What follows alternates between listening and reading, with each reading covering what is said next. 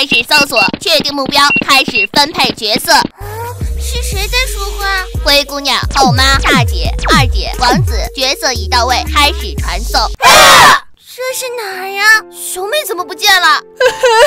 我要回家。叮咚，欢迎来到灰姑娘的故事。只要你们按时完成表演，就能离开了。什么表演？现在请开始你们的表演。哼，又是恶作剧，我才不信呢！咱们还是去找熊妹吧。别人说的对，咱们快走。表演错误，请重新开始。叮咚，欢迎来到灰姑娘的故事，请开始你们的表演。看来只有完成表演才能离开了。可我们都不知道自己是谁，怎么演啊？黑暗魔王穿着破裙子，她一定是灰姑娘。什么？我是灰姑娘？那咱们三个分别是谁呀？我知道，你们俩穿着鲜艳的裙子。大宝年纪大，是大姐。贝尔，你是二姐。那你呢？我就是后妈了。嗯，开始表演吧。我让灰姑娘，你把豆子剪干净，才能去参加舞会。贝尔，大宝，我们走。啊，这要怎么剪嘛？灰姑娘，别担心，我来帮你。小精灵，你怎么在这儿？什么小精灵？我是仙女教母。乌拉拉变！小精灵，你怎么了？剪好了，快去参加舞会吧。嗯，好吧。等一下，乌拉拉变！这一下顺眼多了，你快去吧。小精灵，谢谢你。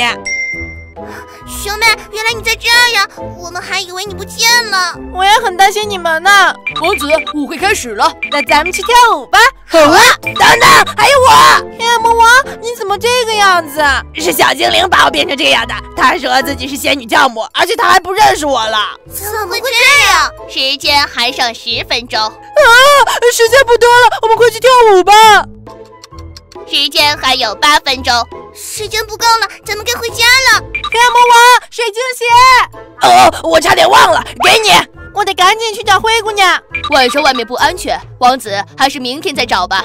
可是时间不够了，这可怎么办？我来帮你。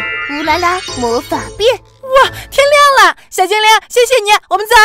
奇怪，怎么都管我叫小精灵啊？灰姑娘，你快试试这双鞋子吧。鞋子这么小，我一定穿不上的。